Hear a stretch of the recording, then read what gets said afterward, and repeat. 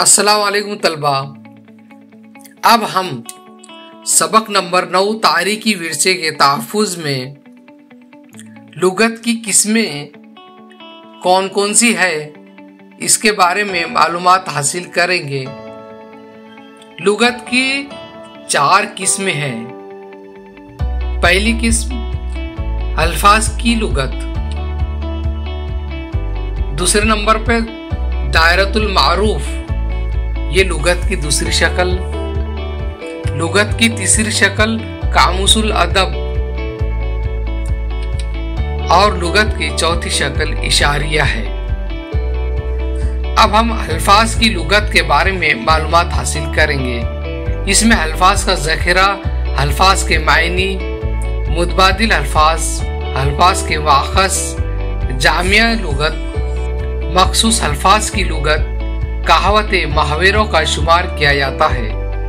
दायरतुल मारूफ लुगत में इसे इंसाइक्लोपीडिया के नाम से भी जाना जाता है, जो एक किताब की तरफ़ लिखा होता है। किसी भी जो एक किताब की तरह लिखा होता है, किसी भी शख्सियत के या किसी मखसूस मौजू पर इसमें तफसील से मालूम दी जाती है।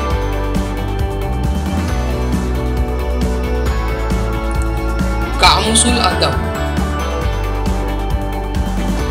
लुगत के इस किस्म में किसी मखसूस मौजू पर माहरीन के ज़रिए मजामी तहरीर करवा कर कुतुब तख्लीक की जाती है। मसलन जीवन की अलग अलग जिल्दे, एक, दो, तीन। पूना शहर की जिल्दे, एक, दो, तीन। सालनामा, फरंग, अद्वियात। इस तरह का इस्तेमाल किया जाता है। इस तरह जिल्द वाइज कामुसुल अदब में मजमून का शुमार किया जाता है।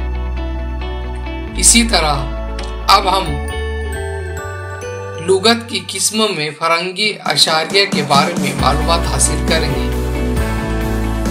किताब के आखिर में मजकूर शख्स, मौजू, मकामात और फहरिस्त कुतुब, फहरिस्त अल्फाज को वजाहती अशारिया कहते हैं, जो किताब के मुताले में मददगार साबित होता है। मसलन, रसाइल के वजाही इशारियात इस तरह फरंगी अदब में लुगत के मुख्तलिफ़ किस्में बयान की गई है। उम्मीद करता हूँ कि आपको लुगत की किस्मों के बारे में मालूमात मिल चुकी